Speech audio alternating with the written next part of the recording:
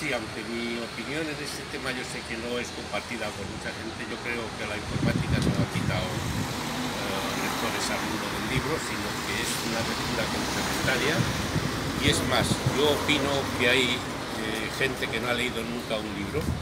y que ha empezado a leer con la tablet, con lo cual pues es uno más que una persona más que ha empezado a leer y que en alguna ocasión da que después pasa al mundo del libro.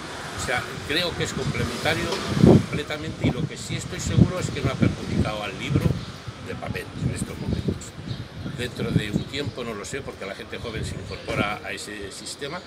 pero hay mucha gente joven que no ha leído nunca un libro que ha empezado a leer con la tablet y que eso le ha creado un interés que ha pasado luego al Cuéntenme de la feria, cómo se desarrolla, cuál es el programa las, de la feria. Las ferias del libro en estos momentos, como casi muchas cosas han bajado en cuanto a productividad, en cuanto a ventas, eh, porque está todo como está, pero aún se siguen defendiendo las ferias con mucho trabajo, ya no se hacen las cantidades que es, cada vez el público exige más, exige mejores, mejor producto, es más exigente, selecciona más lo que compra y esto pues nos lleva a que nos vayamos especializando un poco en, en cierta literatura determinada que antes mejor se vendía todo y ahora hay parte de literatura que no se vende y que no merece la pena llevarla a ningún sitio.